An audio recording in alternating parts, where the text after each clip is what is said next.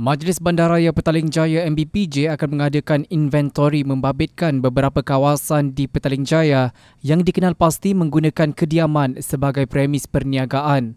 Timbalan Datuk Bandar MBPJ Johari Anwar berkata, inventori itu yang akan bermula Isnin dibuat bagi memberi peluang kepada pihaknya melakukan pemeriksaan secara terperinci terhadap beberapa kediaman yang diubah suai pemiliknya untuk menjalankan perniagaan.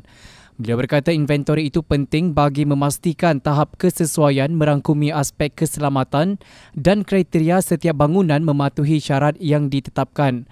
Menurutnya MBPJ kemungkinan akan menggunakan slogan Petaling Jaya segalanya bermula di sini di kawasan Seksyen 1, 2, 3 dan 4 yang dikenali sebagai PJ Old Town berikutan kawasan itu adalah pertama dibuka kira-kira 60 tahun lalu.